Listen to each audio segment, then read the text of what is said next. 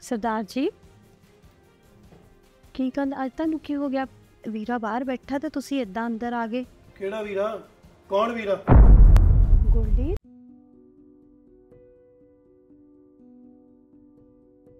ਹੋਰ ਭੈਣ ਠੀਕ ਆ? ਜੀਜਾ ਜੀ ਠੀਕ ਨੇ? ਜੀਜਾ ਜੀ ਵੀ ਤੇਰੇ ਠੀਕ ਆ। ਮੈਂ ਤਾਂ ਸੱਚੀ ਬਹੁਤ ਖੁਸ਼ ਆ। ਚਲੋ ਬਹੁਤ ਵਧੀਆ ਭੈਣੇ। ਇੱਕ ਤਾਂ ਤੇਰੇ ਜੀਜੇ ਦਾ ਸੁਭਾਅ ਤੈਨੂੰ ਪਤਾ ਹੈ ਹੀ ਮਖੌਲੀਆ ਜਿਹਾ ਵਾ। ਹਰ ਵੇਲੇ ਹੀ ਮਜ਼ਾਕ ਕਰਦੇ ਰਹਿੰਦੇ ਆ। ਸੱਚੀ ਸੱਚੀ। ਲੱਗਿਆ ਰਹਿੰਦਾ ਤੁਹਾਡਾ? ਹੋਰ ਕੀ? ਪਤਾ ਨਹੀਂ ਲੱਗਦਾ ਦਿਨ ਕਿੱਥੇ ਲੰਘ ਗਿਆ। ਚਲੋ ਰੱਬ ਦਾ ਬਹੁਤ ਬਹੁਤ ਸ਼ੁਕਰ ਆ ਭੈਣ ਮੇਰੀ ਖੁਸ਼ ਆ। ਹਾਂ ਵਧੀਆ ਦੇਖਾਂ ਬਾਹਰ ਕੌਣ ਹੈ ਮਿਲ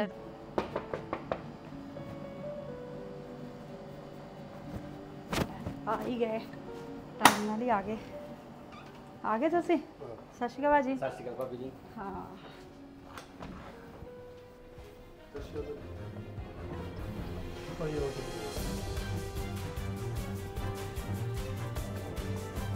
ਕੀ ਹੋ ਗਿਆ ਕੀ ਗੱਲ ਹੋ ਗਈ ਭੈਣੇ? ਜੀਜਾ ਜੀ ਗੁੱਸੇ 'ਚ ਨੇ। ਪਤਾ ਨਹੀਂ ਮੈਂ ਤਾਂ ਚੰਗੇ ਭਲੇ ਸਵੇਰੇ ਗਏ ਆ। ਤੂੰ ਬਹਿ ਮੈਂ ਦੇਖ ਕੇ ਆਨੀ ਦੇਖ ਲੈ ਫਿਰ। ਬੈਠ ਮੈਂ ਕੁਝ ਖਾਂ ਕੀ ਕਰ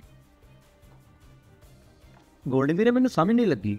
ਯਾਰ ਬਾਹਰ ਤੁਹਾਡਾ ਸਾਲਾ ਆਇਆ। ਤੁਸੀਂ ਹੱਥ ਤੱਕ ਨਹੀਂ ਮਿਲਾਇਆ। ਕੀ ਗੱਲ ਹੋ ਗਈ ਆ? ਓ ਯਾਰ ਤੂੰ ਚਿੰਤਾ ਨਾ ਕਰ। ਸਭ ਕੁਝ ਤੇਰੇ ਸਾਹਮਣੇ ਫਣੀ ਆ ਜਾਣਾ। ਹੈ। ਹੋਰ ਦੱਸ ਤੂੰ ਠੀਕ ਠਾਕ ਆ ਨਾ? ਹਾਂ ਵੀਰੇ ਸਭ ਠੀਕ ਹੈ ਯਾਰ। ਸਰਦਾਰ ਜੀ ਕੀ ਗੱਲ? ਅੱਜ ਤੁਹਾਨੂੰ ਕੀ ਹੋ ਗਿਆ? ਵੀਰਾ ਬਾਹਰ ਬੈਠਾ ਤੇ ਤੁਸੀਂ ਇਦਾਂ ਅੰਦਰ ਆ ਗਏ। ਕਿਹੜਾ ਵੀਰਾ? ਕੌਣ ਵੀਰਾ? ਗੋਲਡੀ ਹੌਲੀ ਬੋਲੋ ਬਾਹਰ ਬੈਠਾ ਅਗਲਾ ਸੁਣ ਲੂਗਾ। ਦਿਮਾਗ ਖਰਾਬ ਹੈ ਤੁਹਾਡਾ ਅੱਜ। ਕੀ ਬੋਲੀ ਜਾਂਦੇ ਇਹਨਾਂ ਨੂੰ ਕੀ ਹੋਇਆ? ਬਾਹਰੋਂ ਆਏ ਗੁੱਸੇ 'ਚ ਭਾਜੀ ਨਹੀਂ ਭਾਬੀ ਜੀ ਦੁਕਾਨ ਤੋਂ ਤਾਂ ਠੀਕ ਆਏ ਨੇ ਹੁਣੇ ਪਤਾ ਨਹੀਂ ਕੀ ਹੋਇਆ ਅੰਦਰ ਆ ਕੇ ਇਹਨਾਂ ਨੂੰ। ਅੱਗੇ ਤਾਂ ਚੰਗਾ ਭਲਾ ਉਹਨੂੰ ਬੁਲਾਉਂਦੇ ਇੰਨੇ ਖੁਸ਼ ਹੁੰਦੇ ਸੀਗੇ ਜਦੋਂ ਆਉਂਦਾ ਵਾ। ਅੱਜ ਇਹਨਾਂ ਨੂੰ ਪਤਾ ਨਹੀਂ ਕੀ ਗੱਲ ਹੋ ਗਈ ਆ। ਸਭ ਤੇਰਾ ਹੀ ਕਸੂਰ ਹੈ ਇਹਦੇ ਵਿੱਚ। ਮੇਰਾ ਕਸੂਰ? ਹਾਂ ਤੇਰਾ ਕਸੂਰ। ਯਾਦ ਆ ਤੈਨੂੰ? ਹਫਤਾ ਪਹਿਲਾਂ ਮੇਰੀ ਇੱਕ ਛੋਟੀ ਭੈਣ ਆਈ ਸੀਗੀ। ਬਾਹਰ ਬੈਠੀ ਸੀ ਤੇ ਤੂੰ ਉਹਦੇ ਨਾਲ ਕੀ ਸਲੂਕ ਕੀਤਾ ਸੀ? ਉਹ ਤਾਂ ਸਰਦਾਰ ਜੀ ਲੋਕਲ ਆ ਦੂਜੇ ਤੀਜੇ ਦਿਨ ਲੰਘਦੀ ਵੜਦੀ ਆ ਜਾਂਦੀ ਆ। ਇਹ ਤਾਂ ਇੰਨੀ ਦੂਰੋਂ ਆਇਆ ਤੇ ਤੁਸੀਂ ਇਦਾਂ ਉਹਦੇ ਨਾਲ ਸਲੂਕ ਕਰਦੇ ਪਏ ਆ। ਤੈਨੂੰ ਮੈਂ ਜਦੋਂ ਅੰਦਰ ਬੁਲਾਣ ਆਇਆ ਸੀ ਨਾ ਵੀ ਮੇਰੀ ਬਾਹਰ ਭੈਣ ਆਈ ਆ ਤੂੰ ਉੱਚੀ ਬੋਲੀ ਸੀ।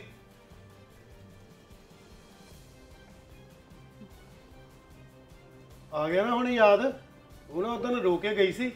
ਨਾਲੇ ਰੋ ਕੇ ਜਾਂਦੀ ਹੋਈ, ਪਤਾ ਕੀ ਕਹਿ ਕੇ ਗਈ ਸੀ? ਵੀਰੇ, ਹੁਣ ਮੈਂ ਨਹੀਂ ਇੱਥੇ ਘਰ ਚ ਆਇਆ ਕਰਨਾ। ਵੀ ਮੇਰੀ ਬੇਇੱਜ਼ਤੀ ਹੁੰਦੀ ਆ, ਮੈਂ ਕਿਤੇ ਸਾਲ ਚ ਮਾਈ ਰੱਖੜੀ ਲੋੜੀ ਤੇ ਆਇਆ ਕਰੂੰਗੀ।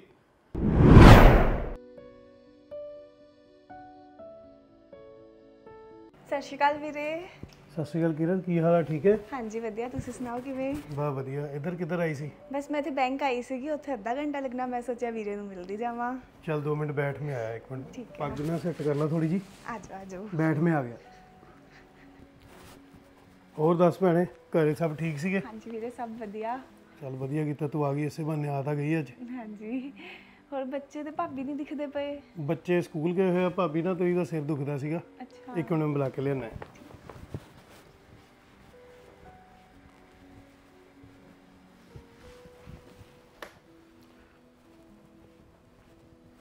ਬਬਲੀ ਵਾਰਨਾ ਕੀਰਤ ਆਈ ਆ।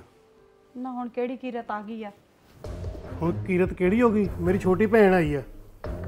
ਸਰਦਾਰ ਜੀ ਤੁਸੀਂ ਮੈਨੂੰ ਇੰਨੀ ਕੁ ਗੱਲ ਤੇ ਠਾਉਣ ਆ ਗਏ ਵੀ ਕੀਰਤ ਆਈ ਆ ਬਾਹਰ। ਤੁਹਾਨੂੰ ਪਤਾ ਨਹੀਂ ਮੇਰਾ ਸਿਰ ਪੀੜ ਹੁੰਦਾ ਵਾ। ਉਹ ਉਦੋਂ ਯਾਰ ਸਿਰ ਪੀੜ ਹੁੰਦਾ ਤਾਂ ਫਿਰ ਕੀ ਹੋ ਗਿਆ? ਭੈਣ ਆਈ ਆ ਮੇਰੀ ਬਾਹਰ। ਹੁਣ ਚਾਹ ਪਾਣੀ ਤੁਹਾਨੂੰ ਪੁੱਛ ਲਾ। ਸਰਦਾਰ ਜੀ ਉਹ ਕਿਹੜਾ ਮਹੀਨੇ ਦੋ ਮਹੀਨੇ ਬਾਅਦ ਆਈ ਆ ਹਰ ਤੀਜੇ ਦਿਨ ਤਾਂ ਇੱਧਰ ਆ ਜਾਂਦੀ ਉੱਥੇ ਹੁੰਦੀ ਇੱਧਰ ਆ ਹੌਲੀ ਜਾਂਦੀ ਆ। ਬੋਲ ਬਾਹਰ ਬੈਠੀ ਆ ਆਪਣਾ ਤਾਂ ਤੂੰ ਜਲੂਸ ਕੱਢਦੀ ਆ ਮੇਰਾ ਵੀ ਨਾਲ ਕੱਢੀ ਜਾਨੀ ਆ। ਕੀ ਹੌਲੀ ਬੋਲਾ ਮੈਂ ਅੱਜ ਬਾਹਰ ਨਹੀਂ ਆਉਣਾ ਚਲ ਜਾ ਉੱਥੇ ਚਲ ਜਾ ਬਾਹਰ ਮੈਂ ਨਹੀਂ ਬਾਹਰ ਆਉਣਾ। ਜਿੰਨੀ ਪੈਰੀ ਆਈ ਉਹਨੇ ਕੋ ਚਲ ਜਾ ਤੀਜੇ ਦਿਨ ਤੁਰੀ ਆਉਂਦੀ ਮੇਰੇ ਕੋ ਨਹੀਂ ਆਉ ਭਗਤ ਹੁੰਦੀ ਬਬਲੀ ਨਾ ਮੈਨੂੰ ਤੇਰੇ ਤੋਂ ਆ ਉਮੀਦ ਨਹੀਂ ਸੀ ਵੀ ਤੂੰ ਆ ਕੁਝ ਕਰੇਂਗੀ। ਇਹ ਉਮੀਦ ਨਹੀਂ ਸੀ ਉਹਨਾਂ ਨੂੰ ਕਹਿ ਦੋ ਨਾ।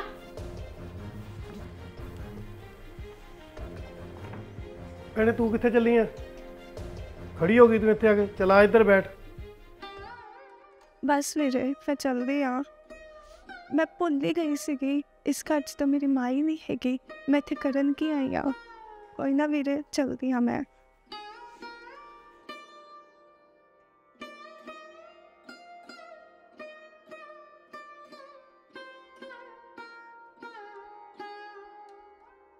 ਕਿਉਂ ਬਾਈ? ਸਹੀ ਕੀਤਾ ਨਾ ਮੈਂ? ਹਾਂ ਵੀਰੇ ਬਿਲਕੁਲ ਠੀਕ। ਭਾਬੀ ਦੇਖੋ ਤੁਸੀਂ ਮੇਰੀ ਭੈਣਾਂ ਵਰਗੇ ਹੋ। ਮੈਨੂੰ ਇੱਕ ਗੱਲ ਦਾ ਜਵਾਬ ਦਿਓ। ਜੇ ਅੱਜ ਆਂਟੀ ਹੁੰਦੇ ਤੇ ਉਹਨਾਂ ਨੂੰ ਕਿੰਨਾ ਬੁਰਾ ਲੱਗਣਾ ਸੀ? ਭਾਬੀਆਂ ਨੂੰ ਹੀ ਮਾਂ ਬਣਨਾ ਪੈਂਦਾ। ਜੇ ਸੱਸ ਚੱਲ ਗਈ ਹੈ ਇਹਦਾ ਮਤਲਬ ਇਹ ਨਹੀਂ ਭਾਬੀ ਕਿ ਤੁਸੀਂ ਇਸ ਘਰ ਦੀਆਂ ਧੀਆਂ ਦਾ ਨਰਾਦਰ ਕਰੋਗੇ। ਨਹੀਂ ਵੀਰ ਜੀ ਅੱਗੇ ਤੋਂ ਮੈਂ ਧਿਆਨ ਰੱਖੂੰਗੀ। ਮੈਂ ਹੁਣੇ ਦੀਦੀ ਨੂੰ ਫੋਨ ਕਰਦੀ ਆ ਤੇ ਉਹਨਾਂ ਕੋਲੋਂ ਸੌਰੀ ਵੀ ਫੀਲ ਕਰਦੀ ਆ ਚਲੋ ਭਾਜੀ ਮਿਲੀਏ ਭਾਜੀ। ਚਲ ਆਇਆ ਬਾਹਰ ਮਿਲਦੇ ਆ ਉਹਨਾਂ ਨੂੰ। ਭਾਬੀ ਜੀ ਧਿਆਨ ਰੱਖਿਓ। ਬੈ ਬੈ ਰਮਨ ਹੋਰ ਸੁਣਾ ਠੀਕ ਆ? ਵਧੀਆ ਭਾਜੀ ਵਧੀਆ। ਕੀ ਹਾਲ ਹੈ ਭਾਈ ਵਧੀਆ ਜੀ। ਇੱਕ ਮੈਂ ਨਾ ਤੇਰੇ ਤੋਂ ਮਾਫੀ ਮੰਗਣੀ ਆ ਵੀ ਮੈਂ ਤੇਰੇ ਨਾਲ ਪਹਿਲਾਂ ਮਿਸਬਿਹੇਵ ਕੀਤਾ ਸੀਗਾ। ਕਈ ਵਾਰੀ ਨਾ ਕਿਸੇ ਨੂੰ ਕੁਝ ਸਿਖਾਉਣ ਲਈ ਕੁਝ ਨਾ ਕੁਝ ਕਰਨਾ ਪੈਂਦਾ ਹੈ ਨਹੀਂ ਉਹਦੇ ਭਾਈ ਵਾਸਤੇ ਤੁਸੀਂ ਮੈਂ ਬਿਲਕੁਲ ਠੀਕ ਕੀਤਾ ਮੈਂ ਸੁਣ ਲਿਆ ਸਾਰਾ ਕੁਝ ਜੋ ਵੀ ਤੁਸੀਂ ਕਹਿ ਰਹੇ ਸੀਗੇ। ਹਨਾ? ਮੈਨੂੰ ਪਤਾ ਭੈਣ ਮੇਰੀ ਦੀ ਗਲਤੀ ਹੈਗੀ ਆ। ਭੈਣੇ ਗੱਲ ਮੇਰੀ ਸੁਣ ਲਾ। ਅੱਜ ਤੋਂ ਬਾਅਦ ਤੇਰੀ ਇਹ ਸ਼ਿਕਾਇਤ ਦੁਬਾਰਾ ਨਹੀਂ ਆਣੀ ਚਾਹੀਦੀ। ਨਹੀਂ ਤਾਂ ਮੈਂ ਤੇਰੇ ਘਰ ਕਦੇ ਨਹੀਂ ਆਉਣਾ। ਨਹੀਂ ਵੀਰੇ ਤੁਸੀਂ ਆਇਆ ਕਰੋ। ਮੈਂ ਅੱਗੇ ਤੋਂ ਇਹ ਗਲਤੀ ਨਹੀਂ ਕਰੂੰਗੀ। ਸੌਰੀ ਸਰਦਾਰ ਜੀ ਮੇਰੇ ਕੋਲ ਬਹੁਤ ਵੱਡੀ ਗਲਤੀ ਹੋਈ।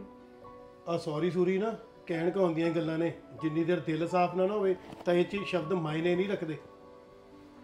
ਭੈਣੇ ਪਹਿਲੀ ਗੱਲ ਤਾਂ ਇਹ ਮੈਂ ਤੁਹਾਡੇ ਘਰ ਦੇ ਮਾਮਲੇ 'ਚ ਬੋਲਦਾ ਨਹੀਂ ਪਰ ਮੇਰੀ ਇੱਕ ਗੱਲ ਪੱਲੇ ਬੰਨ ਲਓ।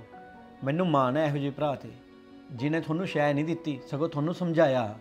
ਤੇ ਮੈਂ ਪੂਰੀ ਉਮੀਦ ਕਰਦਾ ਵੀ ਤੁਹਾਨੂੰ ਜਿਹੜੀਆਂ ਵੀ ਗੱਲਾਂ ਭਰਾ ਨੇ ਕਹੀਆਂ ਨਾ ਤੁਸੀਂ ਆਪਣੇ ਪੂਰੇ ਲੜ ਬੰਨੋਗੇ ਤੇ ਅੱਗੇ ਉਹਨਾਂ ਤੇ ਹੀ ਚੱਲੋਗੇ। ਗੋਲਡੀ ਵੀਰੇ ਜੋ ਹੋਣਾ ਸੀ ਉਹ ਹੋ ਗਿਆ। ਹੁਣ ਭੁੱਲ ਜਾਓ ਸਾਰਾ ਕੁਝ ਮਿੱਟੀ ਪਾਓ ਤੇ ਅੱਗੇ ਖੁਸ਼ੀ-ਖੁਸ਼ੀ ਰਹੋ ਯਾਰ।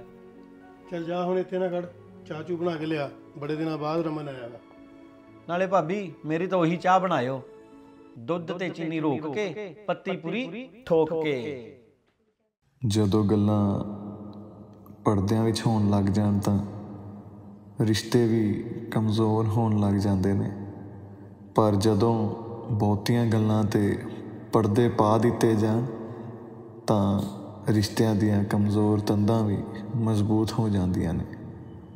ਕਿਸੇ ਸੱਚੇ ਰਿਸ਼ਤੇ ਨੂੰ ਛੋਟੀ-ਮੋਟੀ ਗਲਤੀ ਲਈ ਨਾ ਛੱਡੋ। ਯਾਦ ਰੱਖੋ, ਕੋਈ ਵੀ ਸੰਪੂਰਨ ਤੇ ਹਮੇਸ਼ਾ ਸਹੀ ਨਹੀਂ ਹੁੰਦਾ, ਪਰ ਪਿਆਰ ਹਮੇਸ਼ਾ ਸੰਪੂਰਨ ਤੋਂ ਵੱਧ ਮਹੱਤਵਪੂਰਨ ਹੁੰਦਾ ਹੈ। ਤਾਂ ਇਸੇ ਕਰਕੇ ਰਿਸ਼ਤਿਆਂ ਦੀ ਅਹਿਮੀਅਤ ਨੂੰ ਸਮਝਿਆ ਕਰੋ।